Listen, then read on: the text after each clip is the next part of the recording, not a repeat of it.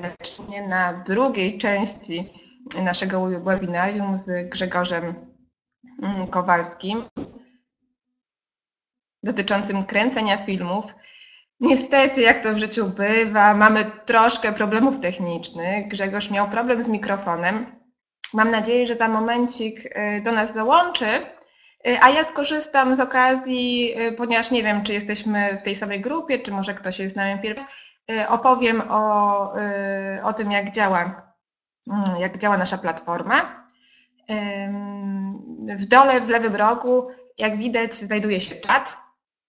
Mm, czat służy do komunikowania się z prowadzącym. Tutaj będą Państwo mogli zadawać mu pytania, ale również można się przywitać, jak tutaj Pani Emilia już, e, już zaczęła. Jest to e, niestety, albo może stety, jedyny sposób, w jaki można się komunikować. Dzięki temu też nie mamy takiego chaosu, szumu. W webinarium może wziąć e, udział sporo osób, a tak to mamy, mamy pewien porządek, więc, ale zachęcam jak najbardziej do E, do, e, do zadawania pytań, do, e, do, do rozmów również, również na czacie. Jest to jak wartościowa część naszego webinarium. Mogą Państwo też skorzystać z emotikonek, które widać, widać tuż nad czatem, taka uśmiechnięta buźka. Można tutaj zaznaczyć, że ma się na przykład pyta pytanie, aczkolwiek myślę, że zamiast tej rączki lepiej po prostu od razu zadawać pytanie na czacie E, ale też można może być tak, że Grzegorz zada Wam pytanie i wtedy zada Państwu pytanie i wtedy można się zgodzić e, albo nie zgodzić. E, ta rączka pojawi się przy, przy Waszym imieniu i nazwisku, tak jak tutaj Pan Krzysztof Fortuna już, już kciuk do góry podniósł, bardzo się cieszę. Mm, więc to jest taki drugi sposób komunikacji i również dzięki konkom mogą Państwo zaznaczyć, jeżeli będą jakieś problemy techniczne. Wtedy jak najbardziej zachęcam e, do tego, żeby, żeby patrzę, przepraszam, tak się tutaj zamyśliłam, patrzę, czy, czy, e, czy Grzegorz się nam pojawił, jeszcze go nie ma z nami. Mm, więc jak są jakieś problemy techniczne, to też e, zachęcam do korzystania z ikonek albo z czatów. Jest też możliwość prywatnego czatu. Jeżeli będę chciała coś wytłumaczyć indywidualnie któremuś z Państwa, to E, to rozpocznę taki czat prywatny. Tak to będzie wyglądało. Webinarium potrwa e, godzinę, czyli do 11 i jest kontynuacją drugiego, pierwszego webinarium, ale jeżeli ktoś nie brał udziału w pierwszym webinarium, to nie jest to żaden problem, gdyż e, jest ono nagrane. Mm. Jest ono nagrane, więc można sobie je odtworzyć. To webinarium też oczywiście będzie nagrane i wrzucone na naszą stronę, również na naszego YouTube'a. Więc wszystkie materiały będą, mm, będą dostępne. Ja w takim razie jeszcze skorzystam z okazji, y, póki, y, póki Grzegorza nie ma, żeby zaprosić Państwa na, do udziału w konkursie Nakręć się. Przedłużyliśmy termin zgłoszeń. Jest co jeszcze ponad dwa tygodnie do tego, żeby się, żeby się zgłosić i przesłać do nas swoje prace albo filmy, krótkie etiudy, albo, albo recenzję. Widzę, że Grzegorza nadal z nami nie ma. Yy, to też jest chwila w takim razie, żeby się zastanowić, jakie pytania chcieliby Państwo yy, Grzegorzowi zadać dotyczące montażu, dotyczące jakichś wskazówek.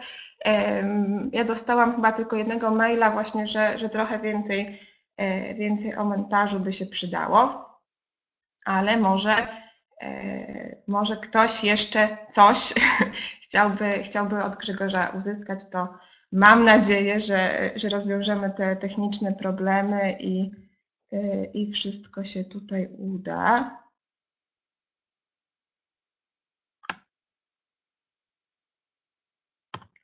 To jest świetne pytanie. Gdzie jest Grzegorz? Bardzo bym chciała wiedzieć, panie Krzysztofie. Hmm.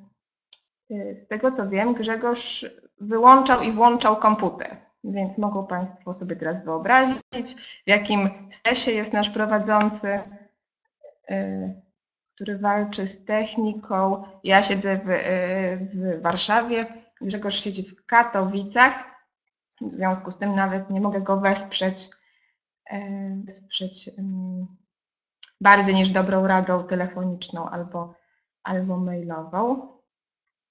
嗯。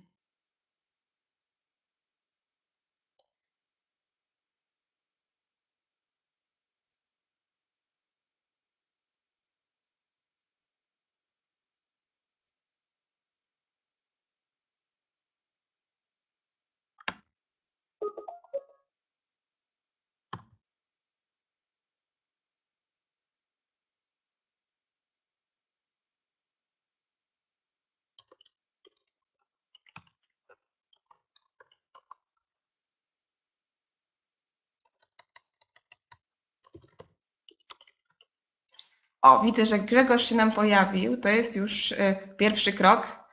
Teraz, y, teraz pytanie tylko, czy będzie miał y, głos. To jest najważniejsze, ponieważ tutaj mieliśmy największy problem, co jak wiadomo jest trudne. Dużo łatwiej prowadzić webinarium tylko i wyłącznie z dźwiękiem, niż tylko i wyłącznie z obrazem. Są szumy. O, jesteś, witaj Grzegorzu, tęskniliśmy za tobą. Jest sukces. Nie wiedzą Państwo nawet, jak bardzo się cieszę. To ja się już wyłączam, już oddaję czas e, Grzegorzowi. E, Bardzo dziękuję. Dobrze, że wszyscy, już duża grupa się zebrała, dzięki temu spóźnialscy usłyszą całe webinarium. Uważam, że to wszystko było zaplanowane. Dziękuję bardzo i do e, usłyszenia za godzinę. E, Dzień dobry i przepraszam e, za opóźnienia, które wynikły z trudności technicznych. Proszę dać mi jeszcze sekundkę, bo widzę, że wyłączyło mi się tu współdzielenie pulpitu. E, Ja sobie odpalę tylko jeszcze jedną rzecz. I myślę, że będziemy mogli przejść, że tak powiem, do akcji. Tak, włączam, działa, doskonale. Jeszcze tylko sobie odpalę tego widzika. Jeśli wracać, żeby to było gotowe. I możemy zaczynać. A, Już nie powoli się działa. E, czy słychać mnie dobrze? A, tylko jeszcze szumie. E, Szumie to znaczy, że mam poprawić znowu te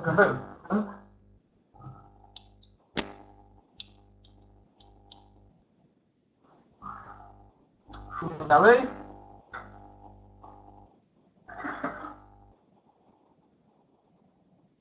Słychać średnio. Nie bardzo wiem, co mogę, mogę głośniej mówić.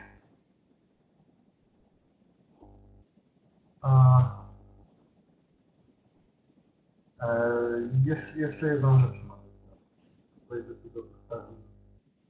Ania, słychać jakby z oddali, tak Państwo mówią. A, gości.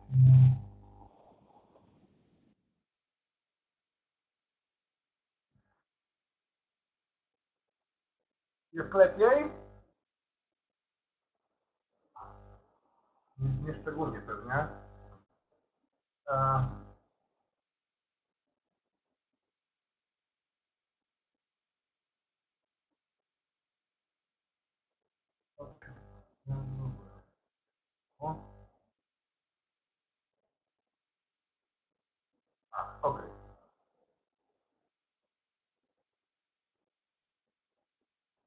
Dobra, no to spróbujmy może, jakby się okazało, że, że mnie nie słychać albo że jestem gdzieś nie, niezrozumiały, to spróbuję e, powtórzyć, a ewentualnie nawet wpisać tutaj e, w czat jakieś kluczowe e, słowa, które mogłyby umknąć.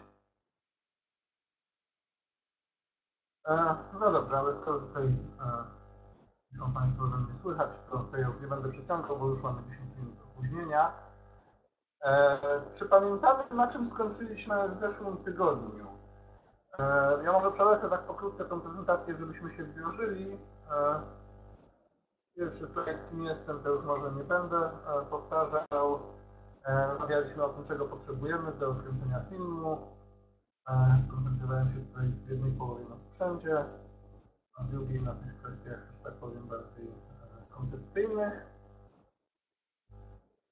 E, Później rozmawialiśmy o, o możliwych kamerach, o zaletach i wadach sprzętu profesjonalnego i amatorskiego.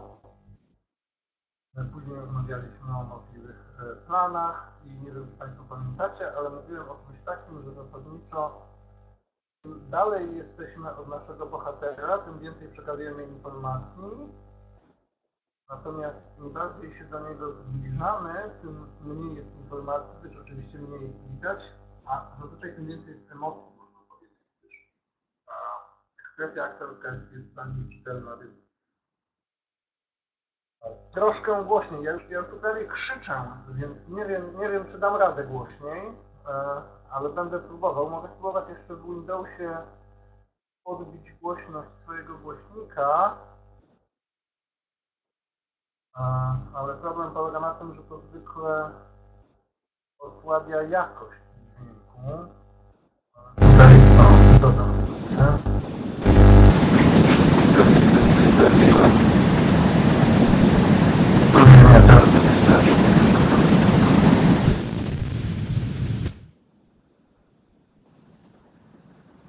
Okej. Tak może lepiej mnie słychać?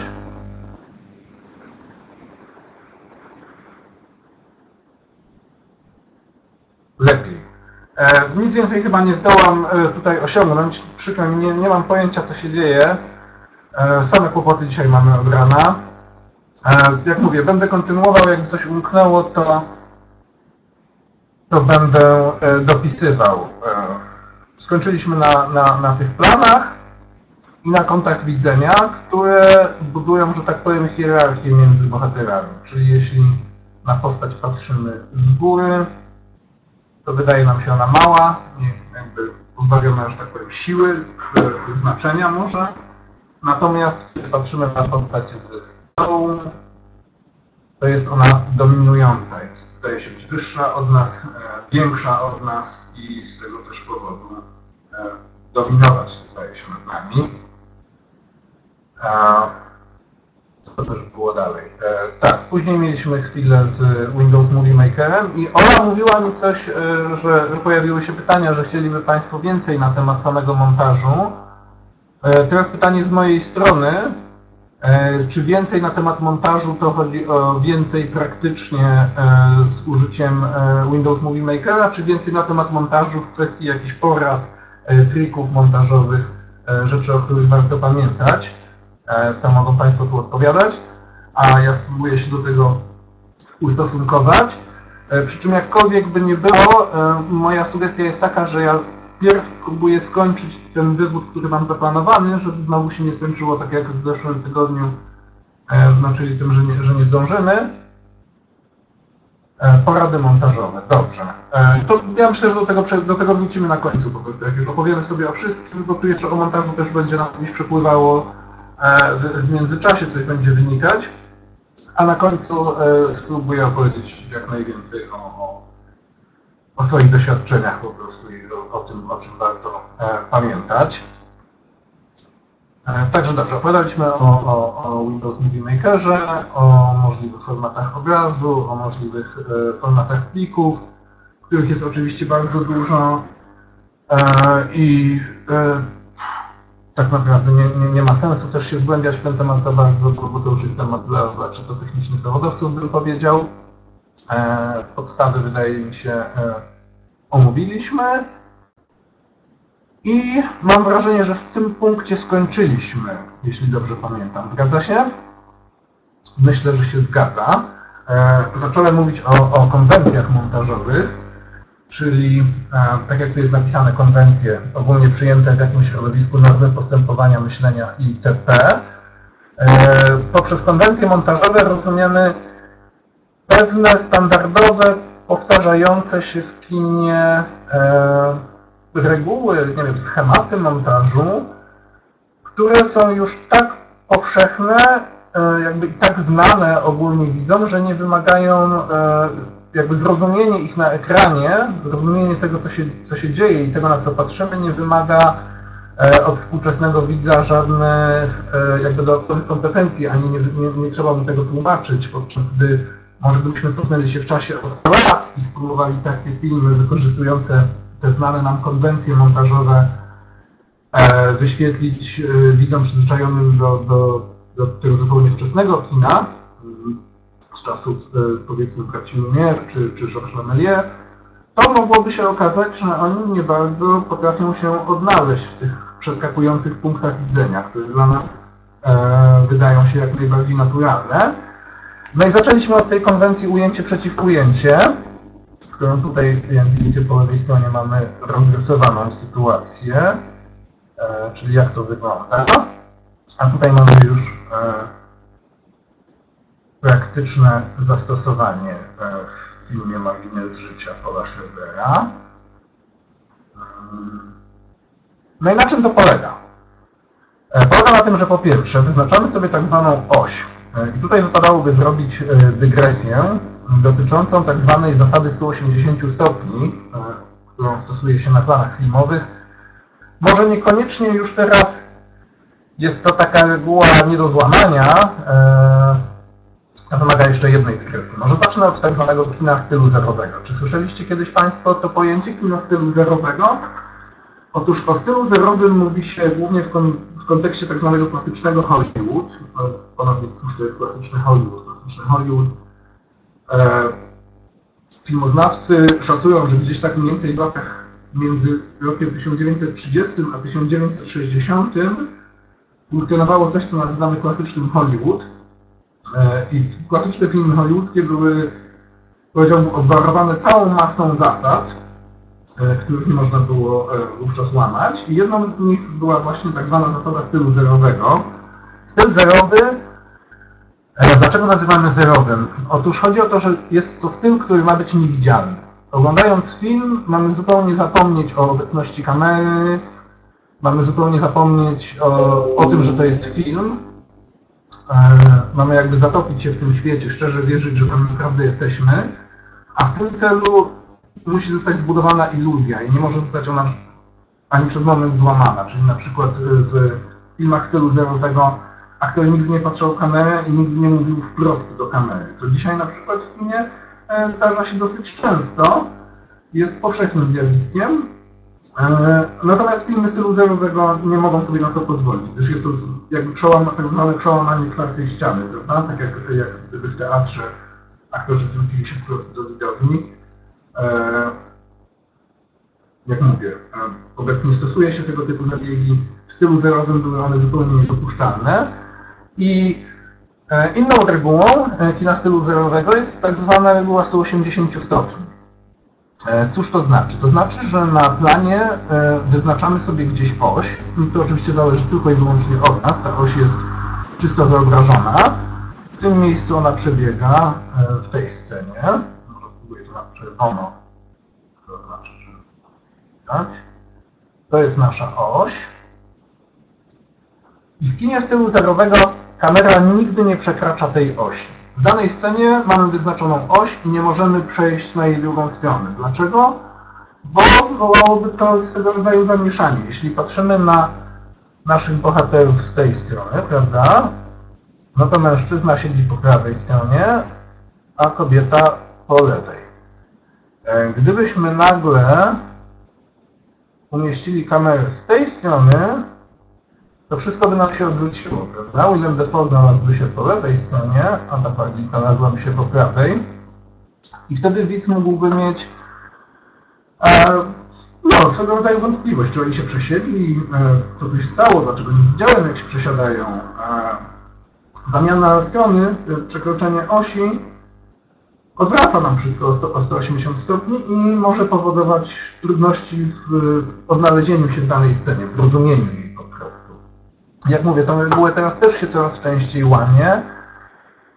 Z jednej strony wydaje mi się wynika to z tego, że, że autorzy po prostu nie chcą tworzyć w stylu zerowym i nie obchodzi ich to, pozwalają sobie na łamanie iluzji, a z drugiej strony może chodzi o to, że widz jest też już jakby lepiej wykwalifikowany e, i gdybyśmy na przykład, nie wiem, z tamtych drzwi gdzieś wyszedł jakiś e, bohater, e, który podciągnąłby tutaj tą naszą dwójkę, oni by zamachali do niego, i nagle mielibyśmy przeskok e, na jego punkt widzenia, e, czyli właśnie przekroczylibyśmy oś, to myślę, że w dzisiejszych czasach byłoby to już zupełnie zrozumiałe, ale trzeba by to jakoś wprowadzić. Jak mówię, musiałby tam ktoś wejść, musielibyśmy dostać jakiś sygnał, dlaczego patrzymy na bohaterów z drugiej strony.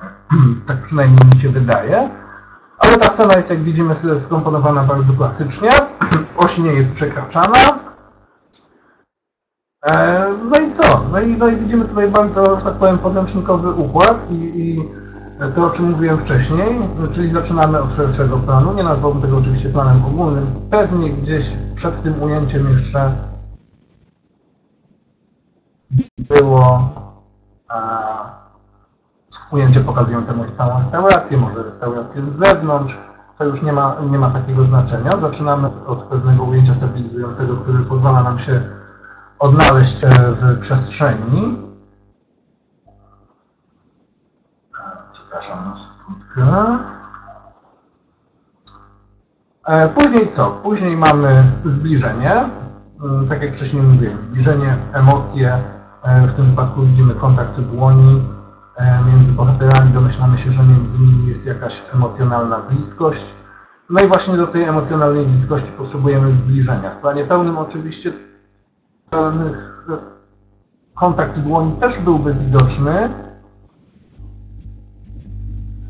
Okej, mniej trzeszczy jak jestem dalej, pisze Nikola. Dobra, to ja będę starał się tak wychylać i mówić bardzo głośno. Bo nie mam pojęcia od czego to może zależeć. E,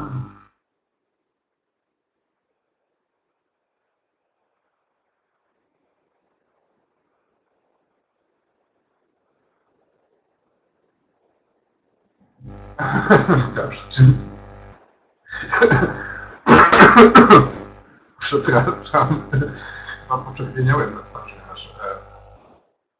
Może wróćmy do tematu. E, Ja postaram się trzeszczyć jak najmniej. E, I jeszcze raz naprawdę bardzo przepraszam za te trzaski. Kompletnie nie wiem o, o co chodzi. Dobrze, skończyliśmy na emocjonalnej bliskości.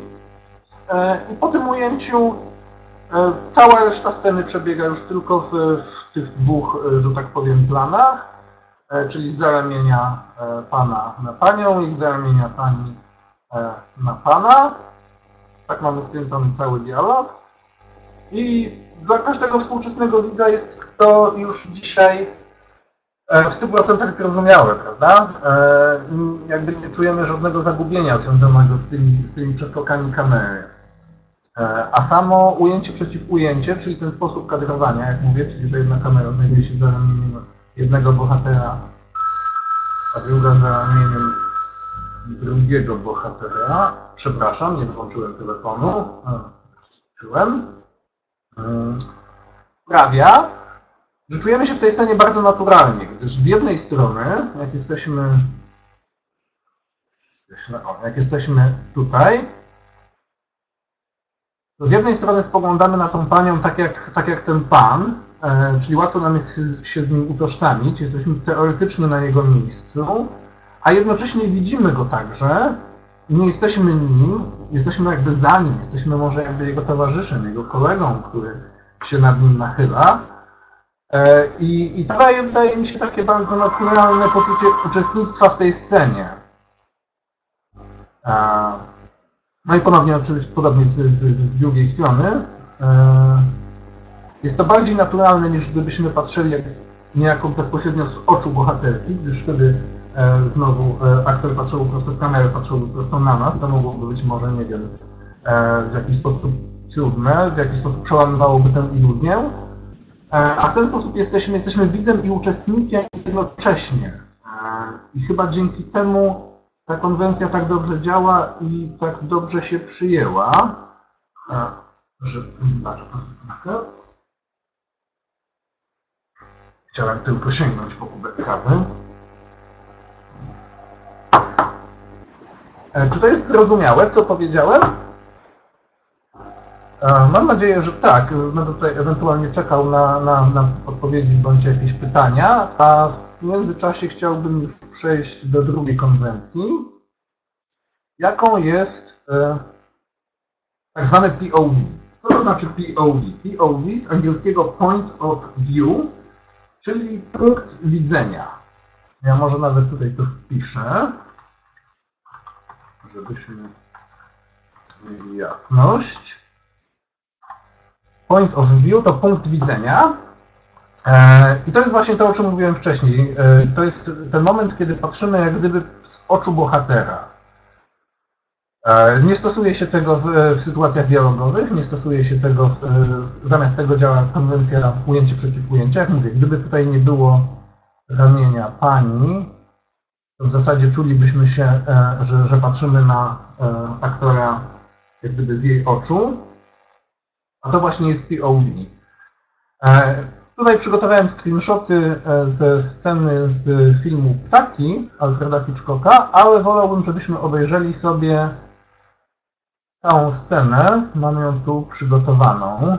Także teraz przestaję mówić i puszczam. Mam nadzieję, że to działa i że Państwo oglądacie razem ze mną.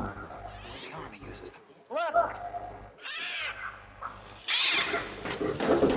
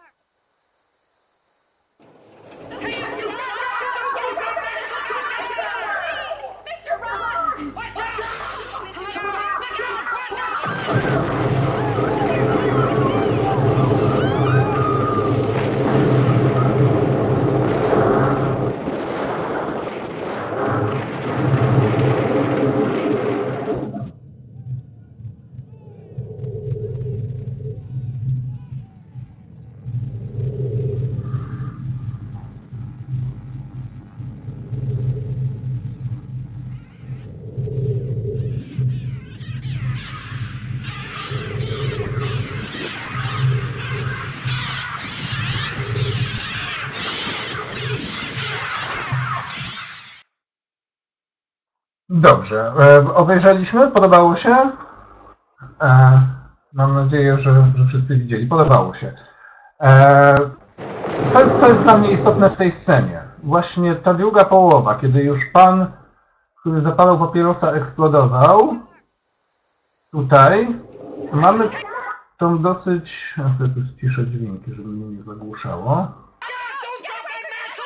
Mamy tutaj dosyć może już zabawną jak na dzisiejsze czasy sekwencję montażową tych takich dosyć sztywnych spojrzeń, e, kiedy bohaterka śledzi o, jak e, posuwa się płomień, jak rozwija się akcja, jak ten płomień zmierza do stacji benzynowej, która w finale sceny także eksploduje. Ale to jest właśnie to. E, widzimy e, lekki ruch głowy, Widzimy wyraźnie, że bohaterka koncentruje swoje spojrzenie na czymś. To spojrzenie jest, jest, jest bardzo wyraźne, jest jakby do, dominujące w tym, w tym kadrze. E, I bach, mamy to przecięcie, z czym na to, pat, na to patrzy, czyli tutaj przesuwa się, e, rozprzestrzenia się ogień, ona znowu patrzy w inną stronę, rozprzestrzenia się ogień, ona patrzy w jeszcze inną stronę, eksplozja.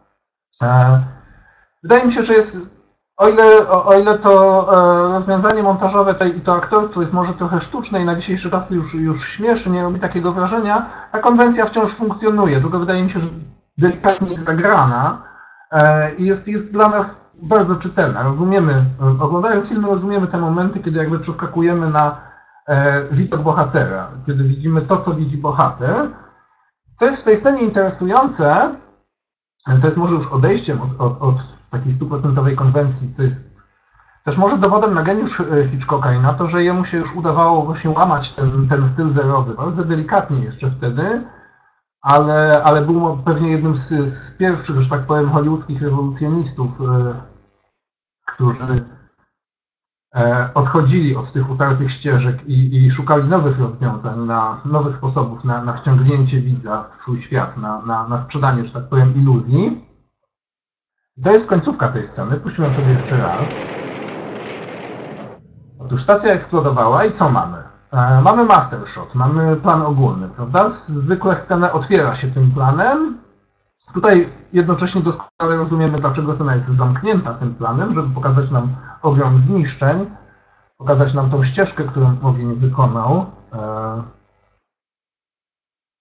od pana, który zapalił papierosa, przez całą rozlaną tą ścieżkę, aż do stacji benzynowej, która eksplodowała. E, Wydaje się to być, prawda, e, zupełnie takim standardowym, konwencjonalnym zagraniem. Jednakże to ujęcie trwa długo. Mi się się popsuło. Chciałem jeszcze raz puścić, już nie mogę, nie wiem czemu. No dobrze, nie będę puszczał jeszcze raz, bo i tak mam tutaj screenshoty. E, Nie wiem, czy Państwo zauważyli, to ujęcie trwa i trwa i trwa, dobrych kilka sekund. I po chwili z kamery wylatują tytułowe ptaki. E, To sprawia, że nagle jak gdyby uświadamiamy sobie, a może nie uświadamiamy sobie, ale mimo wszystko wydaje mi się, że na jakimś po- podświadomym poziomie to działa, Okazuje się, że nie był to, to zwykły master shot, zwykłe ujęcie stabilizujące, mające pokazać nam, jak mówiłem, ogrom zniszczeń. Był to tak naprawdę kolejny POV, POV ptaków. Chwilę temu byliśmy tą bohaterką, która e, oglądała te płomienie, ale w tej chwili jesteśmy już ptakami, które atakują miasto. E, I to jest, e, moim zdaniem, jak mówię, geniusz Hitchcocka i, i jakby jego, e, jego odwaga. E, bo umieszczenie Wita w- perspektywie, że tak powiem, potwora, zła w filmie do dzisiaj jest, jest rzadko spotykane w horrorach i, i w ogóle w jakichkolwiek filmach. Raczej utrzymujemy stałą perspektywę pozytywnego bohatera. Tu nagle Hitchcock pozwala nam poczuć się, jakbyśmy to my byli ptakami. Mm, Dlaczego to robi? E, Nie wiem. Tak naprawdę pewnie po prostu bawi się z nami, bawi się z naszymi emocjami, eksperymentuje, sprawdza jak daleko można się posunąć. Nie zmienia to faktu, że że jest to bardzo ciekawe zagranie i że do dzisiaj, do dzisiaj w kinie się tak praktycznie nie, nie postępuje, że wymagało to odwagi Hitchcocka i, i jego wyobraźni, żeby zastosować e, taki zabieg pod koniec tej, można powiedzieć, dosyć sztampowej i, i standardowej sceny, prawda?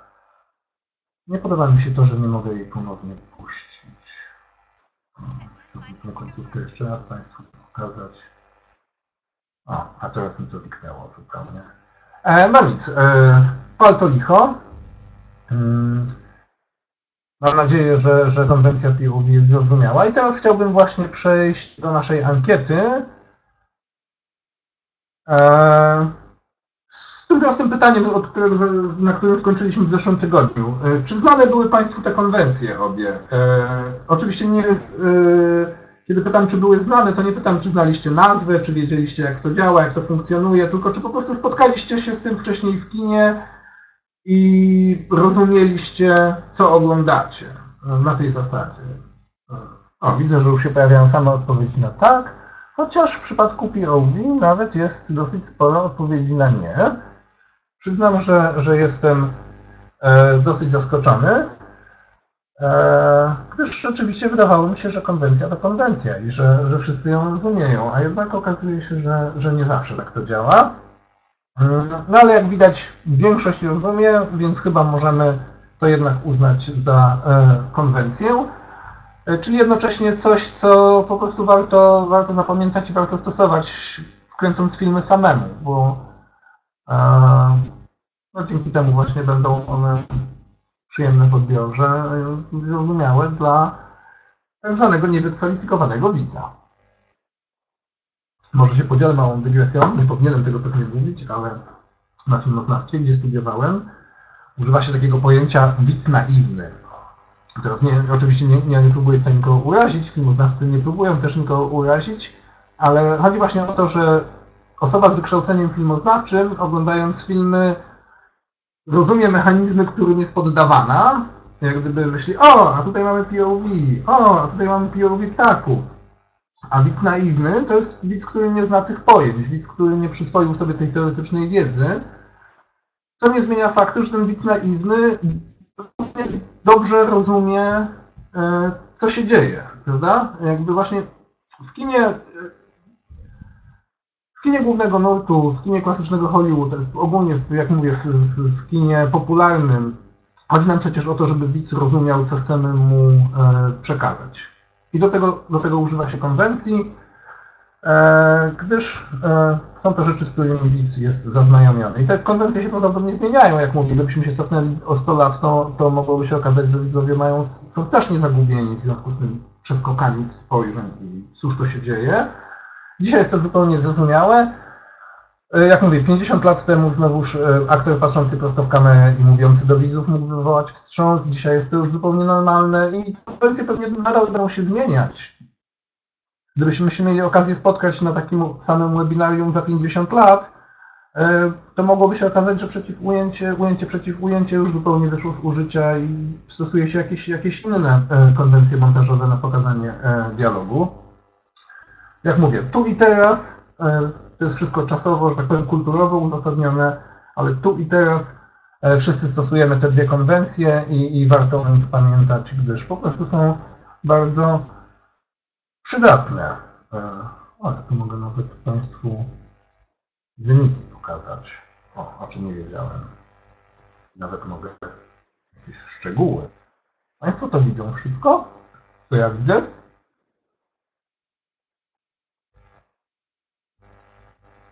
Mam nadzieję, że tak. E, Wróćmy może do prezentacji, bo czas nam znowu ucieka. E, Chciałbym opowiedzieć kilka słów o świetle, e, nie rozwodząc się tutaj zbyt mocno, gdyż nie oszukujmy się, w warunkach amatorskich i, tak nie mamy zazwyczaj zbyt dużej kontroli nad światłem, jesteśmy w dużej mierze zależni od, od światła naturalnego. Mało kto dysponuje profesjonalnymi filmowymi lampami, ale mimo wszystko warto te podstawy zdać. Zresztą jak później przejdziemy na końcu do, do, do trików technicznych, takich e, kilku porad, które tu zebrałem, e, to tam też te tematy oświetleniowe jakoś wrócą.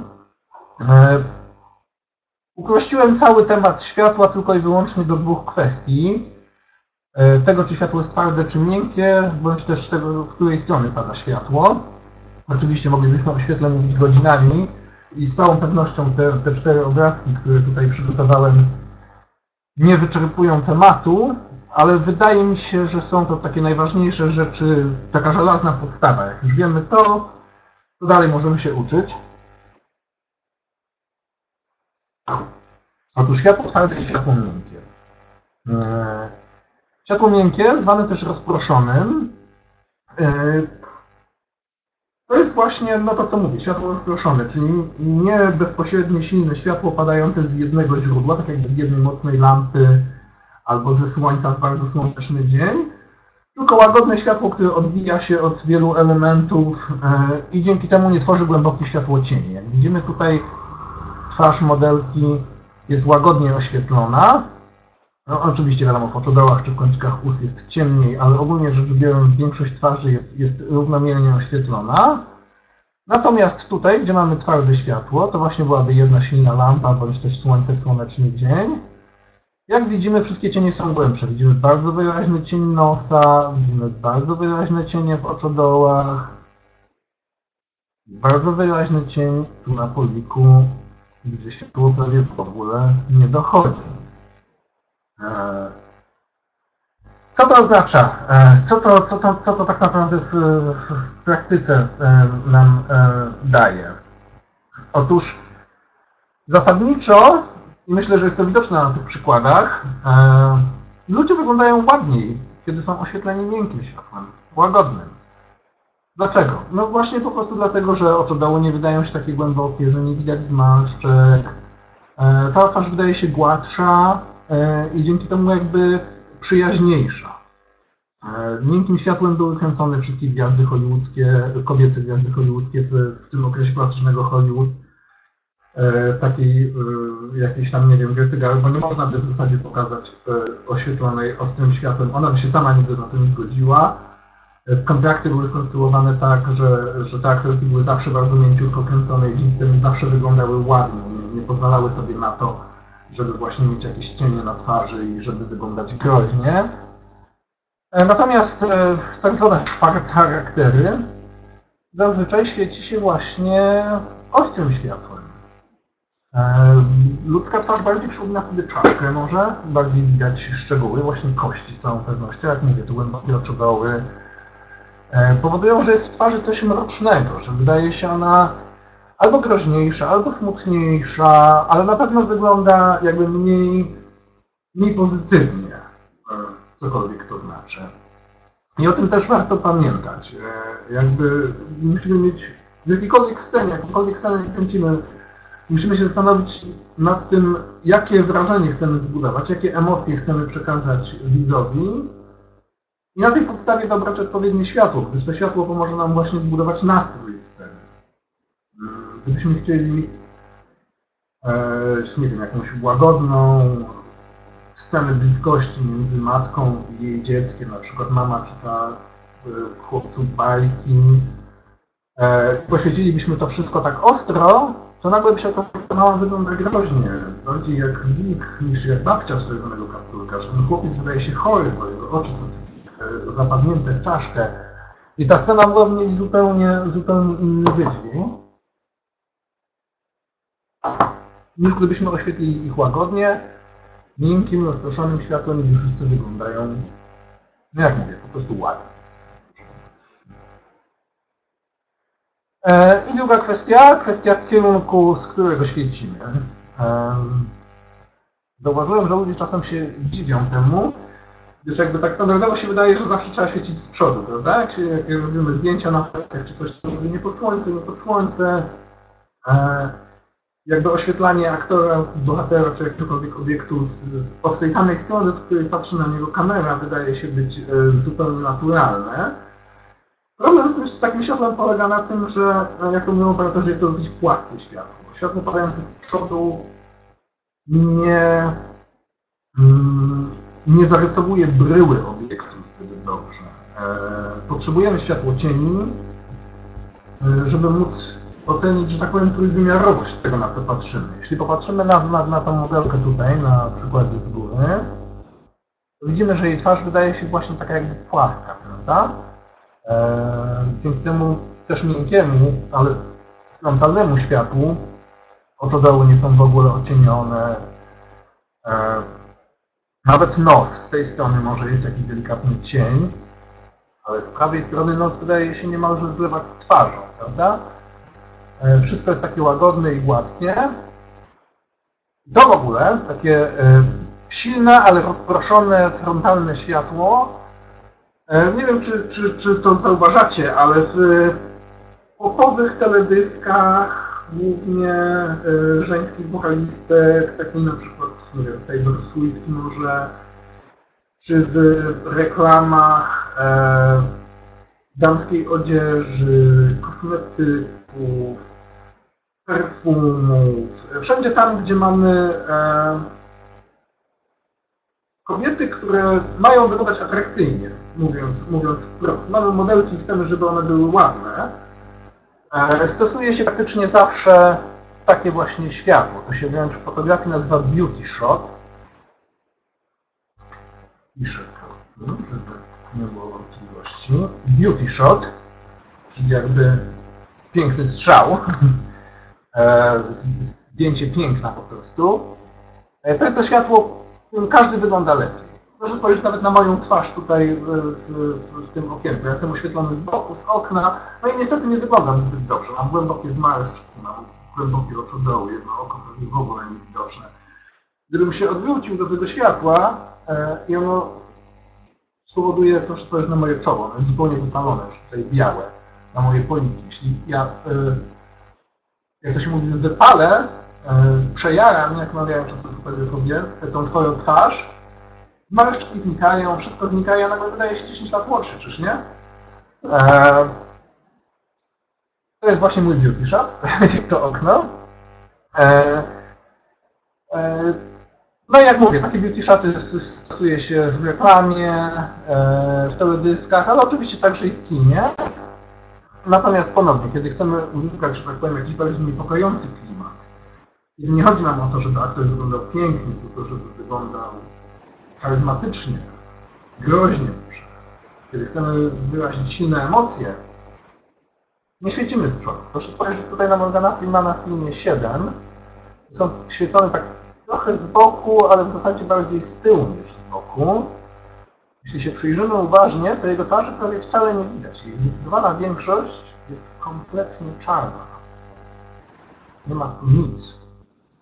Widzimy tylko oświetlony kontrowo kontur, no i tutaj odbija się ciutkę więcej łagodnego światła, co pozwala nam widzieć jego polik, ale prawda jest taka, że nawet gdyby cała ta część była zupełnie czarna, to by niewiele zmieniło. To byłby wciąż bardzo podobny obrazek. Najważniejsze jest to, że jedyne jakby elementy twarzy, jakie widzimy, to jest tylko ten ten dosyć wąska linia tutaj z boku, e, wywołana przez to kontrowe e, tylne światło. E, Widzimy zupełnie inny klimat tych dwóch zdjęć, prawda? E, Żuchowska jest zawsze pięknie wyświetlona. Dokładnie. I wcale nie zdziwiłbym się, gdyby ona to miała w kontrakcie. No, no może już dzisiaj nie, ale, ale proszę mi wierzyć, że, że w Hollywood takie rzeczy się zdarzają. Że, że aktorzy mogą być w kontrakcie napisane, jak mają być oświetlani e, i reżyser nie ma tu nic do powiedzenia. Zupełnie nic. E, tylko Żuchowska chce ładnie wyglądać, prawda? Nie, nie, pozwoli sobie robić światłach Morgan Freeman, w którym wyszły właśnie wszystkie ich marszki, e, e, oczy by się zapadły. Mm. E, Nie wiem, czy widzieliście Państwo 7, ale jest to bardzo mroczny, nieprzyjemny, taki wręcz wracający do góry nogami żołądek film i, i to światło jak najbardziej tam pasuje.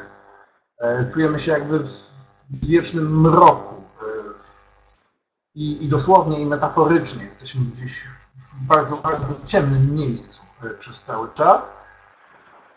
A jednocześnie Morgan Freeman, murzyński aktor o bardzo ciemnej karnacji, wiadomo, ludzie nie są czarni, co najwyżej ciemnobrązowi, ale Morgan Freeman jest naprawdę niemalże czarny.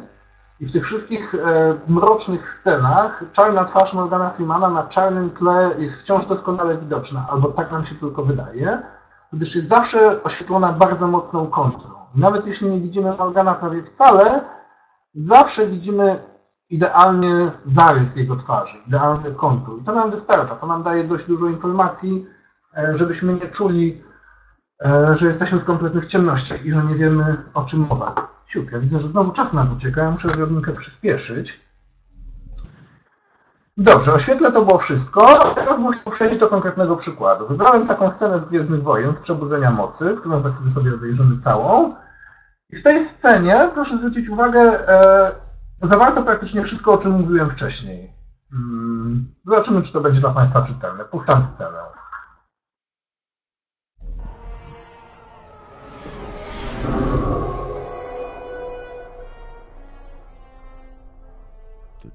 Droid will soon be delivered to the Resistance, leading them to the last Jedi.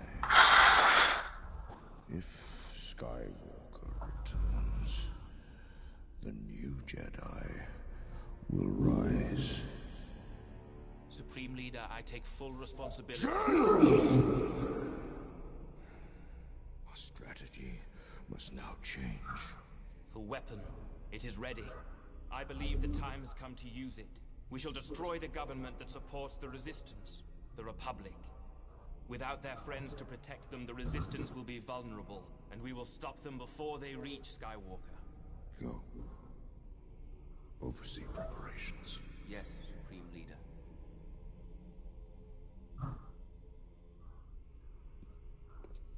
There's been an awakening. Have you felt it? Yes. There's something more. The droid we seek is aboard the Millennium Falcon. In the hands of your father, Han Solo. Dobrze, tyle może nam wystarczy. E, Bardzo lubię Gwiezdne Wojny, bardzo lubię J.J. Abramsa, ale nie wybrałem tej sceny dlatego, że jest ona w jakikolwiek sposób genialna, e, przełomowa, wstrząsająca czy nowatorska. Wybrałem ją dlatego, że jest w 100%, że tak powiem, zrealizowana zgodnie z podręcznikiem. E, Gdyby, gdyby te Gwiezdne Wojny powstały 30 czy 50 lat temu, Jestem przekonany, że ta scena wyglądałaby identycznie. Oczywiście nie byłoby e, cyfrowych efektów specjalnych, trzeba by zbudować gigantyczną kukłę tego e, ogromnego e, Snowka, bądź też zastosować jakieś inne triki wizualne, żeby aktora móc e, powiększyć. Ale nie zmienia to faktu, że ta scena byłaby prawdopodobnie skomponowana identycznie. E, Co mam na myśli? Otóż proszę popatrzeć. Zaczynamy od master shotu. Jedno ujęcie stabilizujące pokazuje nam, gdzie jesteśmy. Jesteśmy na tej planecie teoretycznie nowej gwieździe śmierci, czy jakiej tam nie nazwać. Co się dzieje dalej? Mamy drugie ujęcie, które także będzie master shotem. Podchodzimy bliżej, ale to jest z całą pewnością plan pełny. Widzimy aktorów, a nawet tego olbrzyma e, od stóp do głów w pełnej postaci. Co prawda jest tak ciemno, e, że w zasadzie nie, nie jesteśmy w stanie orzec, gdzie jesteśmy, ale jesteśmy w stanie z całą pewnością zobaczyć wzajemny stosunek postaci wobec siebie. Kto, kto stoi gdzie, kto na kogo patrzy, prawda? Po czym przechodzimy do standard- standardowej e, sytuacji ujęcia przeciw ujęcia. Patrzymy z za pleców, z za barków tych naszych małych ludków e, na e, dużego pana, a po chwili, no tu mamy przebitkę na, na, na pana, ale po chwili znowu będziemy patrzeć z jego oczu. O, i tu mamy coś, co teoretycznie nie jest już ujęciem przeciw ujęciem, jest trochę bardziej jak POV, może, może jest to tak, taka mieszana technika, bym powiedział, e, ale niewątpliwie zawiera te elementy, o których wcześniej mówiłem. Proszę zwrócić uwagę na światło. E, Kylo e, i generał Hux są świeceni z przodu. Oni są zdecydowanie pozytywnymi postaciami w tej scenie. Natomiast naczelny dowódca Snoke świecony jest kontrą, świecony jest od tyłu. Jego twarzy prawie wcale nie widzimy. Niknie ona w czerni przez większość sceny. E, I widzimy, tak jak wcześniej u Morgana Freemana, tylko w zasadzie ten świetnie oświetlony kontur. To sprawia, że ta postać wygląda naprawdę groźnie, naprawdę tajemniczo, prawie nic o nim nie wiemy. Pró- Próbujemy dostrzec tutaj coś w tych bliznach. Widzimy, że jest on jakiś taki popsuty i na, na wpół martwy. E, ale bardzo niewiele widzimy, prawda? I jak scena się rozwija, proszę zwrócić uwagę, szczególnie kiedy już przechodzimy do tych tematów bardziej oczywistych dla Kylo proszę zauważyć, że zbliżamy się do Snowka coraz bliżej. To będzie tu widoczne. Jeszcze chwilę to przetrzymam. O, widzimy go e, powiedzmy w zbliżeniu. Podjeżdżamy, podjeżdżamy, podjeżdżamy. Już jesteśmy w zbliżeniu. Przebitka, bardzo bliska przebitka na, na Kylo. I wiadomo, on jest pod tą maską, więc w zasadzie nie ma emocji, nie ma tutaj szczegółów twarzy. Ale to zbliżenie służy właśnie temu, żebyśmy się zbliżyli do niego. Gdyby on nie miał maski, widzielibyśmy może jego zapłakane oczy, e, czulibyśmy się zdecydowanie bliżsi mu emocjonalnie, prawda? I proszę spojrzeć, jak blisko już podjechaliśmy tutaj. Nie widać praktycznie ani brody, ani czoła Snowka. Snowka. E, jest to już takie niemalże ekstremalne zbliżenie. Jest to prawie że detal, prawda? Bo to jest ten moment, kiedy on wypowiada najważniejsze słowa w tej scenie. I żebyśmy poczuli te emocje jak najbardziej, jesteśmy go jak najbliżej. E, Ta scena jest idealna, powiedziałbym. Jest, doskonała, jeśli chodzi o stuprocentowe trzymanie się reguł stylu zerowego. Jest, jest to takie Hollywood w swojej najwyższej formie. Ja oczywiście nie namawiam, nie namawiam do kopiowania, nie namawiam do, do wzorowania się, e, ale chciałbym tylko zaznaczyć, że ta scena oddziaływuje tak mocno, jak oddziaływuje właśnie dlatego, że stosuje te świetnie sprawdzone środki. E, Tą różnicę e, perspektyw, czyli to, że od razu wiemy, kto dominuje w tej scenie, gdyż na tych widoków patrzymy z góry, a na, na Snowpa patrzymy z dołu, więc wiemy, że on tutaj rządzi. E, To światło, które sprawia, że oni wydają się być bardziej, nie wiem, ofiarami, oni są na pewno bardziej pozytywni, a, a on jest, a Snow, Snow jest oprawcą. E, To właśnie zbliżanie się, im więcej emocji, tym bliżej. No i oczywiście zastosowanie konwencji POV i ujęcie przeciw ujęcie. To wszystko jest w tej scenie. To wszystko sprawia, że ona jest niezwykle czytelna, e, a jednocześnie bardzo mocna emocjonalnie. E, Dobrze, przejdźmy dalej, bo już naprawdę czas nam ucieka, ale na szczęście zostały nam już tylko trzy slajdy. Tak jak mówiłem, na koniec przygotowałem parę praktycznych porad, e, o czym pamiętać na planie e, i o tym opowiem teraz bardzo pokrótce. Po pierwsze, jeśli kręcimy telefonem, najważniejsze, trzymamy go w poziomie. Dlaczego? Bo tak jesteśmy przyzwyczajeni do postrzegania rzeczywistości, dlatego wszystkie telewizory, wszystkie ekrany kinowe, wszystkie ekrany poza ekranem, ekranem telefonicznym e, mają, że tak powiem, poziomą orientację, prawda? Czyli szerzej e, jest, są większe na szerokość niż na wysokość, bo tak samo działają nasze oczy. Oczy mamy ustawione względem siebie w poziomie e, i nasze pole widzenia w poziomie jest dużo szersze niż w pionie. W poziomie mamy prawie 180 stopni, w pionie mamy zdecydowanie mniej. E, Kształt m, ekranów, szczególnie właśnie ten format 16 na 9 a nie 4 na 3 bo 4 na 3 był prawie kwadratowy, a 16 na 9 jednak jest wyraźnie prostokątny, e, jest odwzorowaniem naszego naturalnego spojrzenia na świat. I teraz jeśli nakręcimy film telefonem w pionie, to on już taki będzie pionowy. Jeśli go za, za, załadujemy na YouTube, to okaże się, że po bokach mamy ogromne czarne bloki, które blokują nam wszystko, gdyż ten pionowy obrazek musi się w jakiś sposób skomponować w ten poziomy e, ekran YouTube'a, prawda?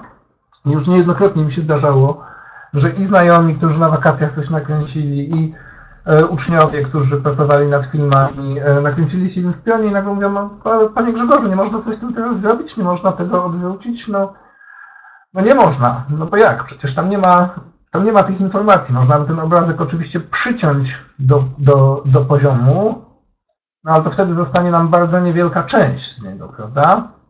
Stracimy jakby e, ogromne, ogromne przestrzenie tu z dołu i z góry.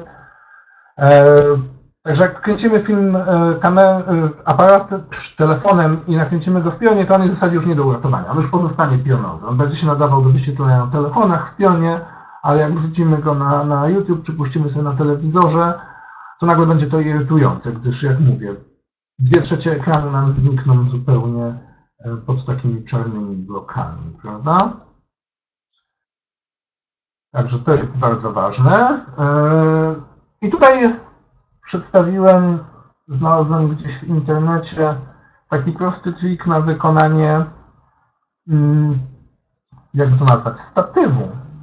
Statywu pod telefon właśnie z użyciem tej tekturki, która znajduje się w środku e, rolki papieru toaletowego. Proszę zobaczyć, jest to niezwykle proste, a pozwala nam ustabilizować ten telefon, e, umieścić go jakby na czymś, na stole, na biurku, na krześle, e, co sprawia, że nie będzie się trząsł. E, Wiadomo, trzęsąca się kamera bywa czasem bardzo przydatna, jeśli chcemy oddać właśnie wrażenie realizmu, takiego dokumentu, tego, że jesteśmy na miejscu, jeśli chcemy, żeby widz wiedział, że, że e, kamera jest tam obecna, to wtedy fajnie, jeśli ona się trzęsie, ale jeśli chcemy kręcić w tak zwanym stylu zerowym, jeśli chcemy, żeby widz zapomniał o kamerze, to jednak dobrze, żeby była ona w miarę stabilna. Wkleję tutaj do czatu link, gdyby ktoś chciał zbudować sobie e, taki toaletowy statyw, e, to tam będzie szczegółowa instrukcja. Blenda. E, Blenda to takie wielkie białe coś, białe albo srebrne, albo złote, różnie to bywa. E, Ale chodzi po prostu o to, żeby odbić światło. Proszę zobaczyć, na tym obrazku wyraźnie widzimy, że modelka stoi w cieniu, po ocienionej stronie domku, a tutaj koleżanka odbija światło słoneczne za pomocą blendy. I proszę zobaczyć, jakie ostre światło daje ta blenda, jaki, jaki ostry mamy światłocień tutaj, jaki wyraźny jest cień tej dziewczyny na ścianie. Ale ogólnie rzecz biorąc, blendy służą do rozpraszania światła. Właśnie jeśli mamy e, bardzo silne światło słoneczne, nie mamy żadnych lamp i, i mamy głębokie cienie na twarzy, jeśli z drugiej strony, powiedzmy, słońce pada, e, słońce pada stąd, a my blendę ustawimy tu, to ona odbije część tego światła e, i stanie się ono bardziej rozproszone. E, Właśnie te głębokie światłocienie znikną z twarzy. Blenda jest bardzo przydatna na planie, ale profesjonalne blendy są dosyć drogie, dlatego każdemu początkującemu filmowcowi polecam zaopatrzyć się w spory kawałek styropianu. E, Działa on dokładnie tak samo, chodzi po prostu o dużą białą przestrzeń. To nawet nie musi być styropian, to może być e, plakat. e, Z drugiej strony plakaty są zwykle białe i do tego takie jeszcze błyszczące.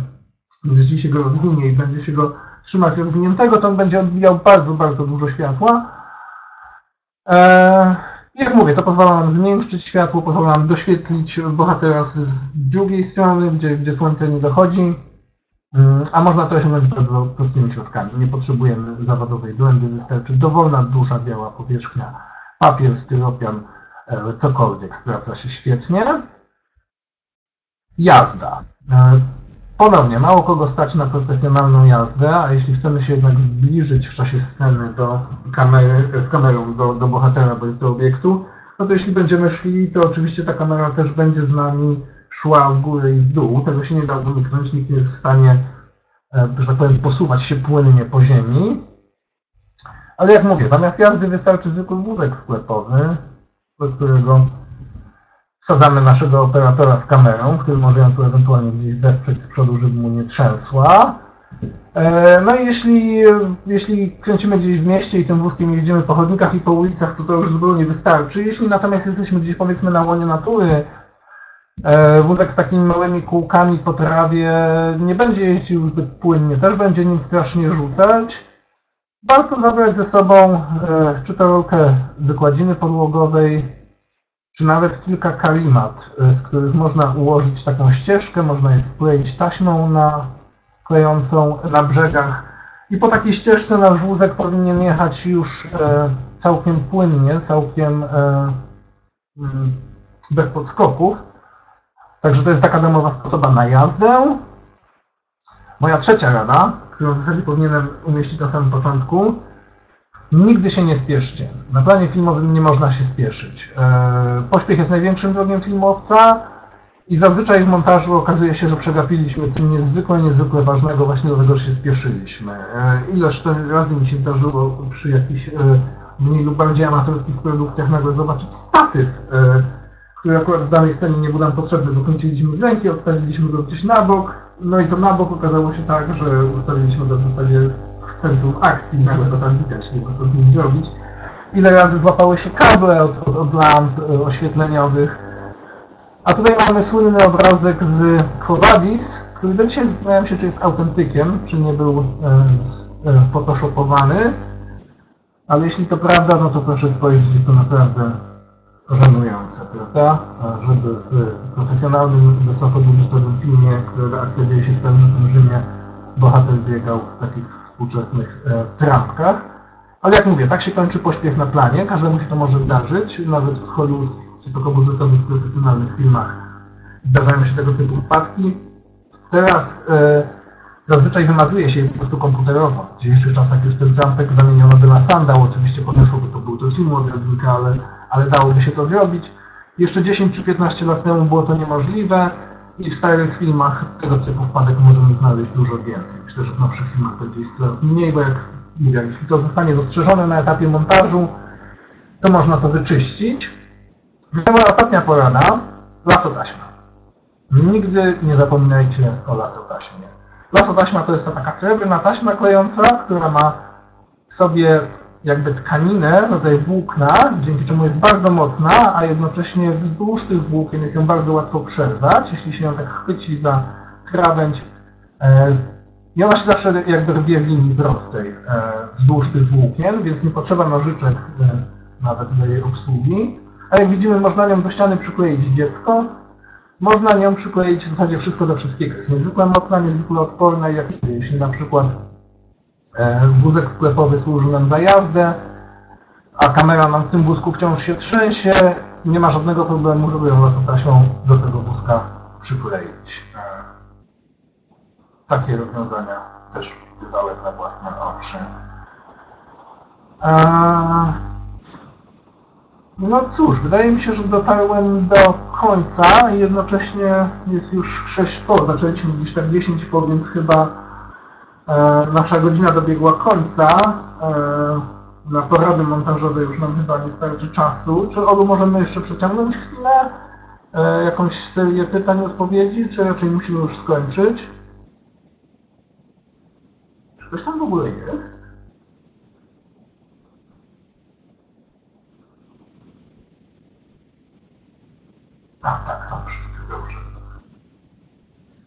Chwilę się bałem, że mówię sam do siebie.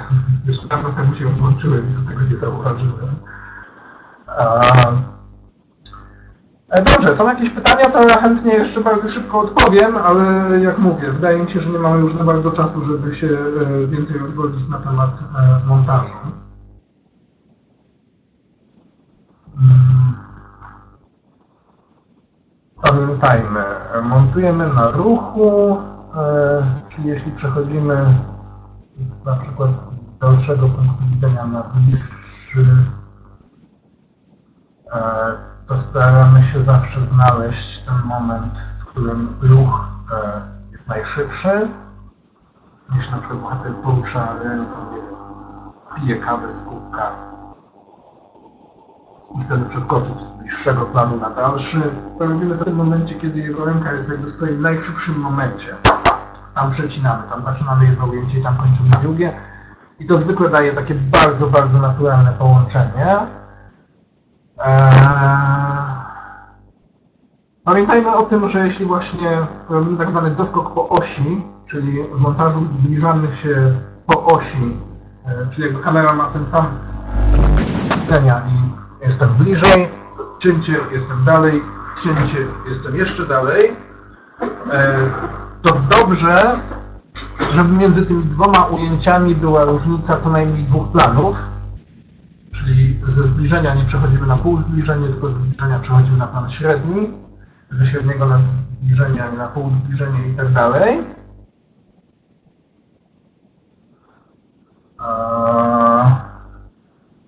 Dlaczego?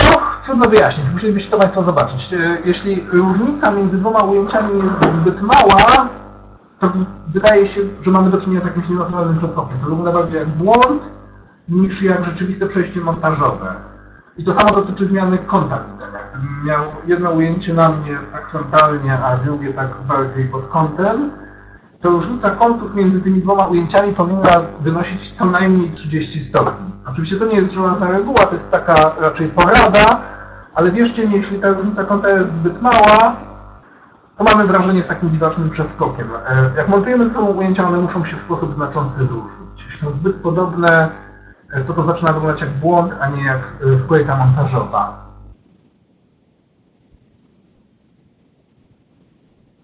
Jak sfilmować przejście przez drzwi?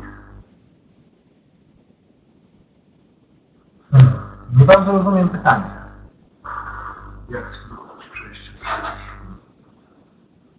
Proszę, że tak powiem, e, skonkretyzować bardziej o co, o co chodzi, bo, bo, bo, bo nie rozumiem tego pytania. Przepraszam. Co jeszcze bym mógł w, w kwestii e, montażu prowadzić? O, e, jeśli na przykład montujemy ze sobą rzeczywiście dwa prawie takie same ujęcia, w sensie ten sam kąt patrzenia kamery i ten sam plan, to jest tak zwany montaż plan w plan. E, to też się stosuje, ale tylko w konkretnych bardzo sytuacjach. Zazwyczaj, kiedy chcemy pokazać upływ czasu. Jeśli na przykład mamy plan pełny, pokój, stolik, kanapa, okno, y, bohater siedzi na kanapie, cięcie, bohater stoi przy oknie, cięcie, y, bohater przechodzi obok stołu, e, to też wyraźnie nam wskazuje, że minął jakiś czas pomiędzy tymi kolejnymi ujęciami. Nie wiemy jaki, ale może to sugerować, że ten bohater kilka godzin na coś czeka, nudzi się i po prostu łazi po tym pokoju, nie wiedząc, y, co z sobą począć.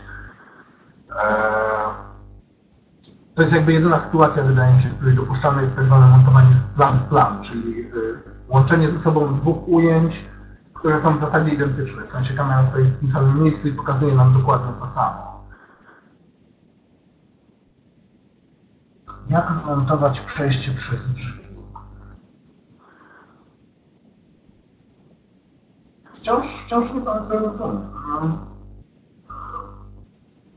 Najlepiej jest, e, to jest chyba taki moment, kiedy tak musimy przekroczyć tą oś 180 stopni, gdyż pierw jesteśmy po jednej stronie drzwi e, i prawdopodobnie stoimy z kamerą drzwi za bohaterem, nie wiem, chwytam klamkę, buch, cięcie, Jesteśmy po drugiej stronie drzwi, widzimy jak te drzwi się otwierają, prawda? Tak to się chyba standardowo zazwyczaj rozwiązuje. To jest jedna z tych niewielu sytuacji, w których przekroczenie osi jest dozwolone, a może nawet niekoniecznie przekroczenie osi, bo to zależy gdzie tą oś sobie wyznaczymy. tak, no rzeczywiście. E, jeśli sobie tą oś e, puścimy dokładnie, z której strony powinna być kamera? Kamera powinna być po obu stronach drzwi, że tak powiem. Czy ja mógłbym sobie spróbować coś narysować? Czy ja mogę zupełnie pustą, pustą kartkę sobie zrobić? O, show whiteboard. Tak, o, proszę. Ja spróbuję to rozrysować. Tu mamy nasze drzwi. Dobra. Tu idzie nasz bohater. Strzałka. A, to teraz tak. Oś, osi nie wyznaczamy sobie. Kolor jakoś? Tak. Osi nie wyznaczamy sobie tu, gdyż musimy ją przekroczyć, prawda? Tylko oś wyznaczamy sobie tu. I teraz tak. Tu mamy jedną kamerę. Pokazujemy bohatera, który podchodzi do drzwi za pleców, ale nie idealnie wprost za pleców, tylko tak lekko pod kątem. Dokładnie tak samo jak w konwencji ujęcie przeciw ujęcie. E, Pokazujemy jak wchodzi do tych drzwi, chwyta za klamkę, otwiera je. Po czym drugie ujęcie z tej strony. Oczywiście moglibyśmy się też e, po tej stronie osi umiejscowić, ale byłoby to dziwaczne, gdyż wtedy nie widzielibyśmy, jeśli drzwi się otwierają w tą stronę, tak jak narysowałem, no to oczywiście chcemy być jakby od tej strony, żeby widzieć naszego bohatera, jak tylko je otworzy, a nie żeby drzwi zasłoniły nam kamerę, prawda? Gdyby drzwi otwierały się w drugą stronę, no to oczywiście ustawiamy się po przeciwnej stronie naszej osi. Ale to wydaje mi się być najprostszym, takim najbardziej czytelnym sposobem na zmontowanie przejścia przez drzwi. Oczywiście, czy stosujemy plany pełne zbliżenia, czy ogólne, to już zależy tylko i wyłącznie od nas i od, od tego, jaki charakter sceny chcemy uzyskać. Ale oś zdecydowanie rysujemy sobie przechodzącą po prostu przez drzwi. Można powiedzieć prostopadle. To jest nasza oś. Jasne?